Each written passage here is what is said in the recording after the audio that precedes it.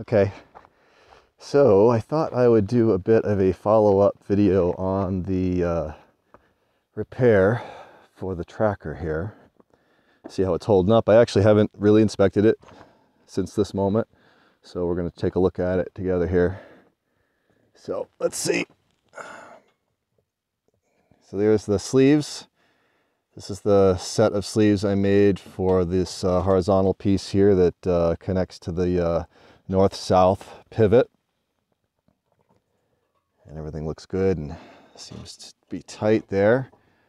And then if we look down this tube here, I can't really get a good view, but I can see that there are, you can only see one of the sleeves, but everything seems to be tight. And the, uh, seems to be no play in it. So it looks like that repair is holding up pretty well. One thing I did notice in the wind the other day is how much there was for play at this pivot point. So if I, so you can see just how much movement there is. So I think the next thing is gonna have to be focused on that pivot point. Um, maybe shoring that up a little bit. I'm not sure exactly where most of that movement is. I might have to take it apart and look inside at the bar here and see if that uh, hole that this pin goes through has uh, deformed any. And uh, probably would be a good idea to get a washer on this guy as well. Um, the other thing I've done here just to kind of mitigate a little bit of the wind issue, you'll notice that this is not sitting, if I get far enough back so you can see it, it's not sitting flat. Now the wind generally comes from the west, southwest. So, you know, that direction.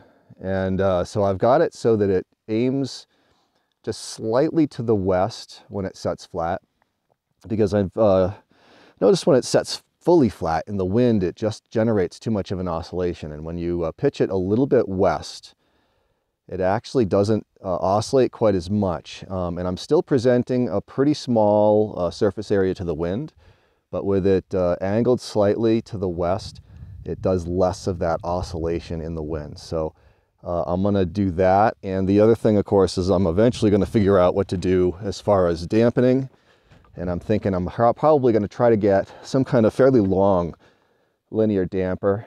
And instead of attaching it to this portion, I will attach it to the center post and then I'll create some kind of a cross piece here to have a, a attachment point centered so I don't have to worry about it, it uh, uh, when it tilts. Uh, so I'll just put a pivot point and it should work pretty well. We'll see how that goes. Um, I haven't found a good source for um, a linear damper. I haven't, I haven't looked a lot, but I've done a little bit of looking around. So anybody knows a good uh, solution for that, feel free to leave a suggestion in the comments. But uh, so far this repair seems okay. Um, and I'm still uh, looking to shore up the, uh, the rest of it a little bit to uh, be good in the wind. But as I've said before, this is not a very robust tracker. This is not really meant for windy environment.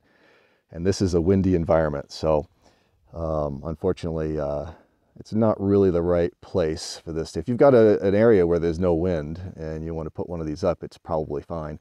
And as one commenter mentioned uh, uh, previously, they just received theirs and uh, it now comes with these sleeves that I made.